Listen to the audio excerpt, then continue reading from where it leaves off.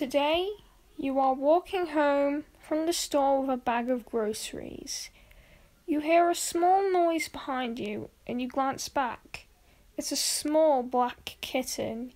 You watch it for a moment and it mews pitifully, running closer to you.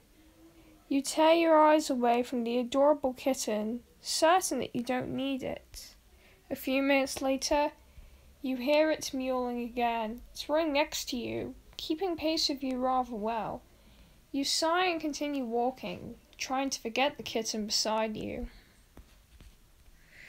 When you get home, the kitten is still following you.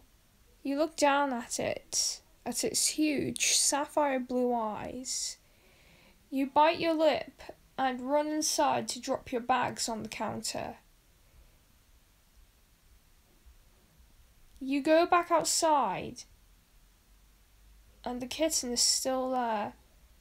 It mews again.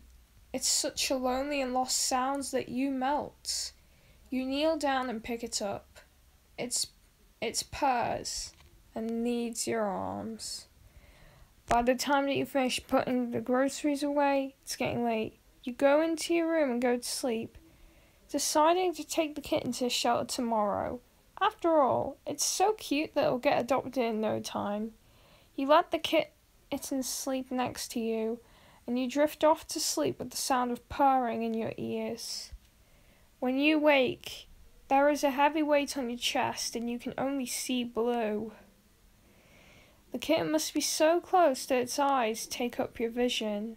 You reach up to move it, but instead of soft kitten fur, your hands meet normal human skin. You gasp in surprise and sit up. Hmm?